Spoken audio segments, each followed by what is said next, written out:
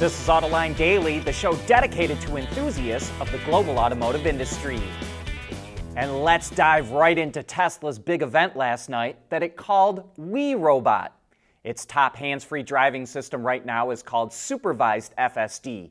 But Elon Musk says that Tesla will launch unsupervised FSD next year in the Model 3 and Y.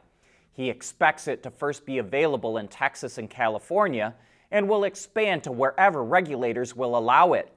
All of its models will be capable of having the feature, which will still be based on an AI and vision system. But Elon says you could fall asleep behind the wheel and wake up at your destination.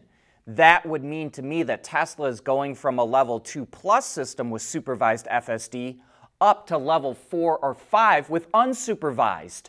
The company will also put what Elon called an overspec version of the system into the Cybercab that it revealed at the event. To me, it looks like the model is based on the Model 3 and Y, but it won't have a steering wheel or pedals, so it too could be limited by regulators. It also won't have a charging port and will instead rely on inductive charging. Tesla will make the Cybercab available for purchase estimated to start in the low $30,000 range. Elon believes that it could be used 5 to 10 times more than a regular car and will one day be 10 times safer than a human and cost 20 cents a mile to operate. He predicted it could be available in 2026, but then quickly said before 2027. Beyond the Cybercab, Tesla pulled the wraps off the Robovan. It's spelled Robovan, but Elon pronounced it Robovan. The autonomous vehicle can deliver packages or other goods or carry up to 20 people. Elon thinks it could one day operate at 5 to 10 cents a mile. There was no time given for when the Robovan will launch, but Elon says it will build it and it will look like this. To quote the CEO, the future should look like the future. The last highlight of the We Robot event was Tesla's actual robot, Optimus.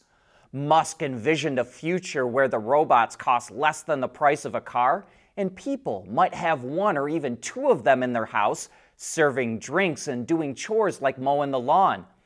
But like any Tesla event hosted by Elon Musk, we'll have to wait to see if the company can pull it off in the CEO's projected timeline and for it to operate at the level of capability talked about during the presentation.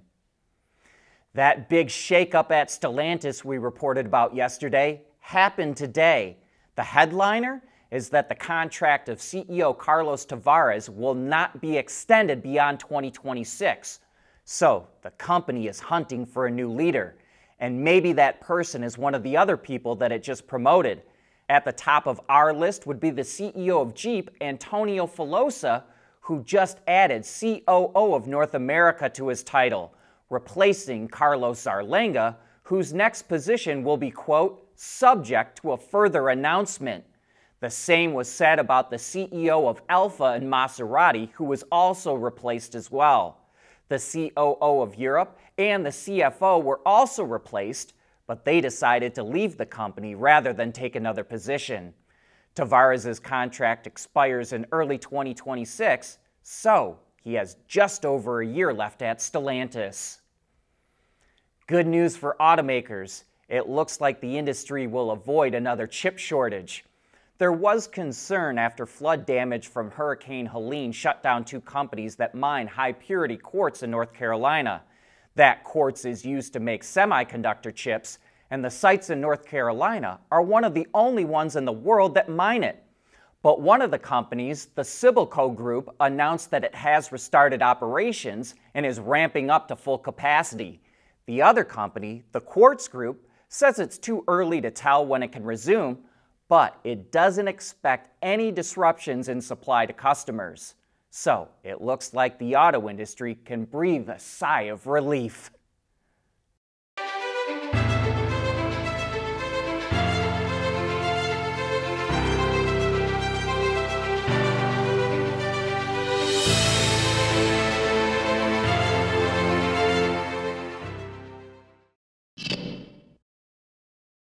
Nissan says it's going to start offering bidirectional charging with its EVs starting in the UK in 2026. Customers will be able to use energy stored in their EV's battery to power their home, or they can sell it back to the grid. The system requires a special home charging unit, but Nissan says it's trying to get the cost comparable to a one way home charger. While the UK is first in 2026, other markets in Europe will follow after that. And one way to really take advantage of bidirectional charging is with home energy storage. Not only can you use wind and solar to charge the unit, which you can also use to power your home or sell electricity back to the grid, but your bidirectional charging EV can be added in for even more storage capability or to charge the home storage unit itself. And GM is launching its own solution that it calls Energy Power Bank. They have either 10.6 or 17.7 kilowatt hour units available that can also be combined together for more storage.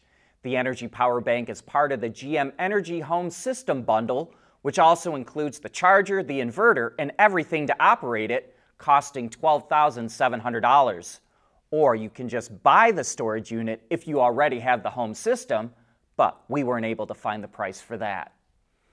Last month, Volkswagen shocked the auto industry when it warned it will likely have to close factories in Germany, something it has never done in its history and now it looks like we know one of the plants that could be shut down. Porsche, which is part of the VW group, announced that it's halting production of the Cayman and Boxster at VW's Osnabrück plant in Germany. It will instead produce them at its main factory in Germany starting in 2026. The Osnabrück plant also builds the VW T-Roc, but that's going out of production next year, which puts the plant's future up in the air. It has the capacity to build 100,000 vehicles a year, but last year it only made 28,000. The site employs 2,800 workers, but Germany's Manager magazine reports that VW could cut up to 30,000 jobs in Germany, so that's why more closures are expected. Car sales in China were up last month. According to the China Passenger Car Association, retail sales of new passenger vehicles totaled more than 2 million units in September, up 2% from a year ago. It was also the first increase in retail sales in China in the past five months.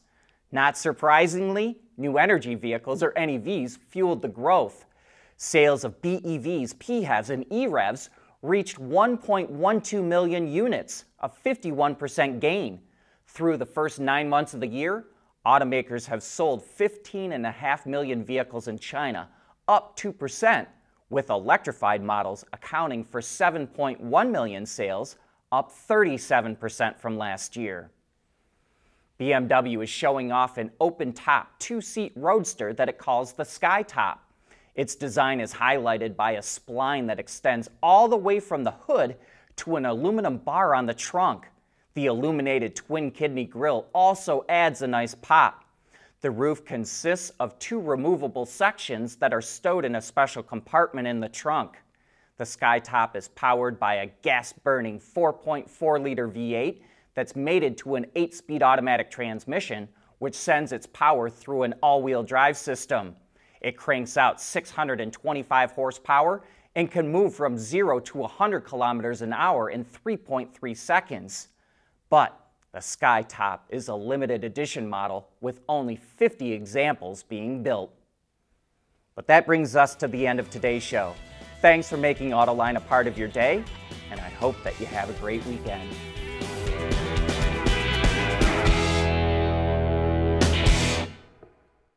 AutoLine Daily is brought to you by Bridgestone, solutions for your journey. Intrepid Control Systems, over the air engineering boost your game. Teijin Automotive Technologies, the formula for better mobility. And by ZF. There's nothing wrong with heavy metal. Hey, lighten up. But with world class composite material, Teijin Automotive Technologies makes vehicles lighter, safer, and more eco friendly.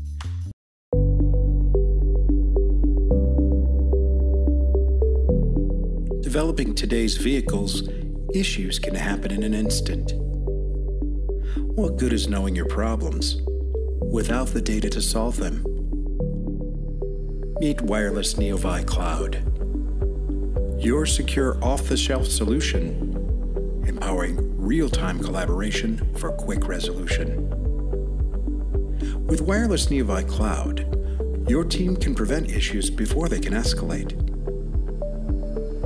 Driver communication data and remote diagnostics to analyze and resolve your problems using OTA, allowing your executives oversight throughout the process. Wireless Neovi Cloud, your vehicle update solution in production and on the road. Intrepid Control Systems, driven by your data.